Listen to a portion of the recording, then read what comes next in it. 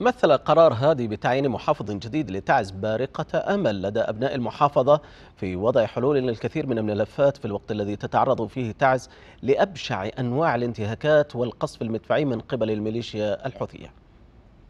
قرار رئيس الجمهورية تعيين محافظ جديد لتعز حرك المياه الراكدة وأنعش آمال المواطنين بحلحلة كثير من الملفات العالقة. أهمها ملف استكمال التحرير والملف العسكري والأمني والخدمات الأساسية للمواطن. القرار لقي ترحيبا واسعا من مختلف القوى السياسية والشرائح الاجتماعية ومعظم أبناء تعز.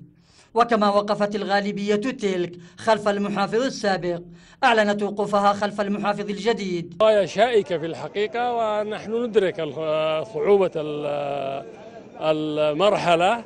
ولكن سنكون معه يدا بيد من أجل إنجاز هذه الملفات والتي يقف على رأسها تحرير استكمال تحرير المحافظة.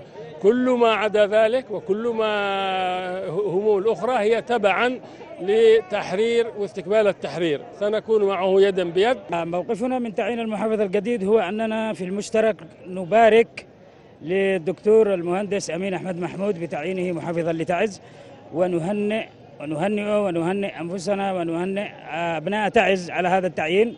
نرحب بالمحافظ الجديد طبعا كونه مكلف من رئيس الجمهورية شرعيا. طبعا المحافظ الجديد سيكون هناك يعني متطلب من ابناء تعز هو تحرير محافظة تعز يأتي قرار التغيير في الوقت الذي تتعرض فيه أحياء تعز وقرى عزلة الحيمة. الواقعة في الريف الشمالي الشرقي للمدينة لقصف همجي بمختلف أنواع الأسلحة الثقيلة مخلفة أكثر من ثلاثين بين قتيل وجريح في صفوف المدنيين. كما تتعرض الحيمة أيضا لأبشع أنواع الانتهاكات من قبل ميليشيا الحوثي الإيرانية الانقلابية التي عجزت عن اجتياحها للأسبوع الثاني على التوالي.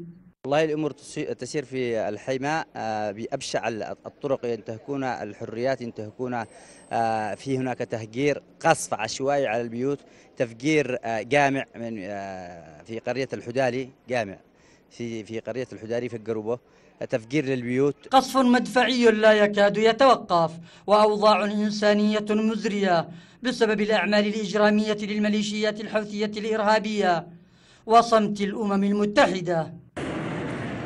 ارتياح كبير لقرار رئيس الجمهورية تعيين محافظ جديد لتعز وأمل كبير يحدو أبناء المحافظة بحلحلة الكثير من الملفات وأهمها الملفين الأمني والعسكري. واستكمال التحرير. محمد الحذيفية الإخبارية تعز.